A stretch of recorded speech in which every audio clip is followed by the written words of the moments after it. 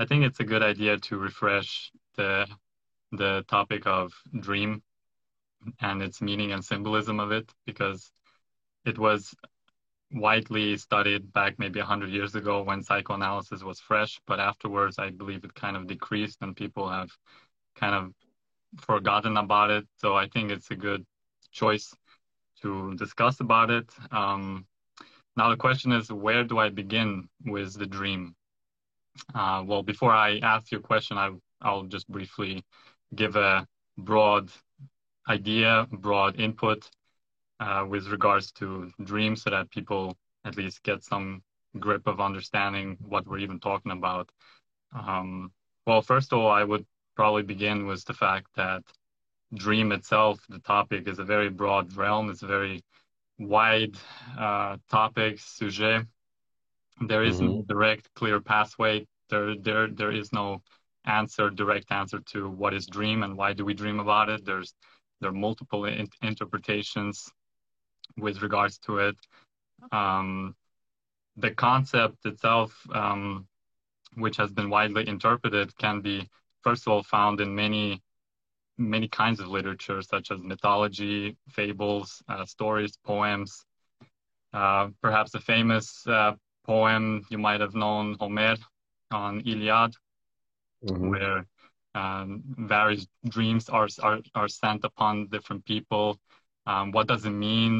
what what what do these dreams even mean are they somehow correlated to reality are they not is it just a made up thing can you predict future and so on and so forth so those were sort of the first uh, i would say perhaps the greeks were one of the first people maybe i'm mistaken maybe there were certain other people maybe maybe in the babylonic times there were people who interpreted in the egyptian times but I think the Greeks were one of the first ones who have perhaps, I'm using the term scientific loosely because it's not entirely scientific, but I would say the first scientific method of the dream analysis in the in the Greek ancient times. Uh, for example, we see uh, one notable philosopher was Artemidorus. I believe he came from Egypt. Uh, he also studied in in uh, Athens in Greece for a very long time. He even interpreted different dreams for, uh, perhaps you might know, Alexander the Great, uh, who predicted the dream that he would take the city of Tyre, for example, and he did indeed. What does that mean now? Was it just a coincidence or was that even real? We'll find out later.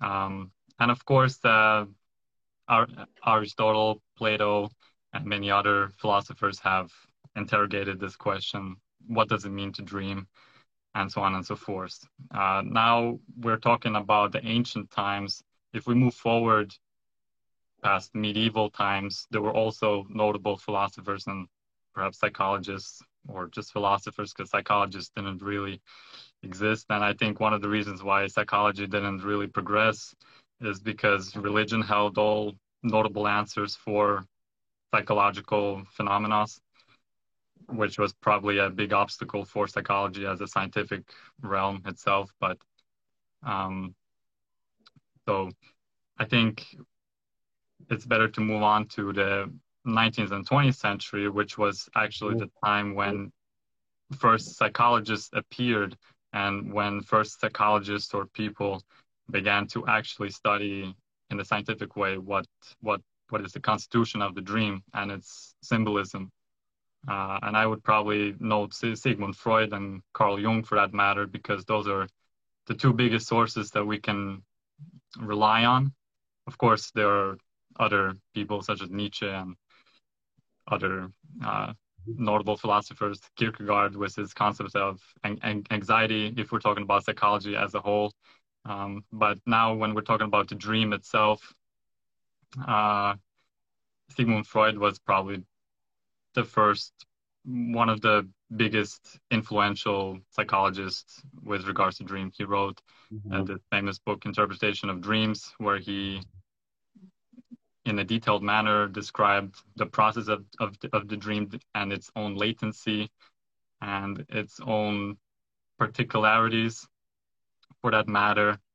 Um, and he also mentioned one of the four stimuli, for uh, the reasons why we dream.